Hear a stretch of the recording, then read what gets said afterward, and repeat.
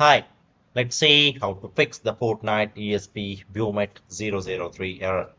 If you play the Fortnite on the Xbox or the PlayStation and you have recently encountered the ESP BUIMET 003 error, you are not alone. This error prevents the players from connecting to the Epic Game servers and enjoying the Fortnite with the friends.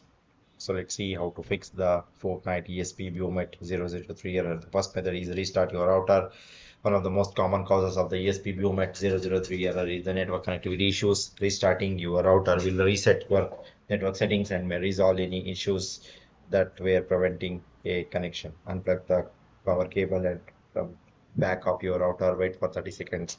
With the power cable unplugged, plug the power cable back into your router. Wait for one or two minutes for it fully to restart. Try launching the Fortnite again once the router has restarted. The second method is change your DNS settings if restarting your router doesn't work.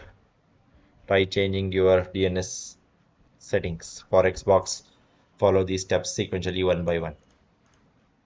For PlayStations, go to settings, network, setup connect, internet connection, select your connect, current connection and select custom. Select DNS settings and then select menu manual enter the primary DNS 8888 and secondary DNS as 8844. Select next and connect to save changes. Launch the Fortnite. The third method is clear the Fortnite caches. Always try to clear the cookies and caches that is the temporary files from the console that can help you to fix the connectivity issues. For Xbox, go to settings, general, storage, clear, local saved games. Select clear on the Fortnite files. Launch the Fortnite once the cache is clear. On the PlayStation, go to settings, storage, save data, select the Fortnite and choose the delete. Confirm the deletion of the Fortnite save data. Launch the game once again or cache is cleared.